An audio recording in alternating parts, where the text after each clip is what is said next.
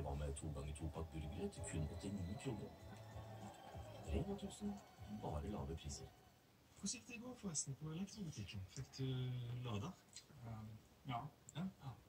Og ikke noe mer? Nei. Det ble nok noe mer. ja.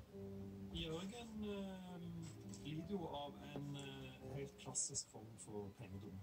Uh, han strever med dette her med mersalg. Han er mersalgssvak. Heldigvis så er det veldig lett å kurere penger. Det handler om å komme i gang. ikke? Ja, det er det det gjør. Kom i gang på OneCall.no. OneCall rimelig smart.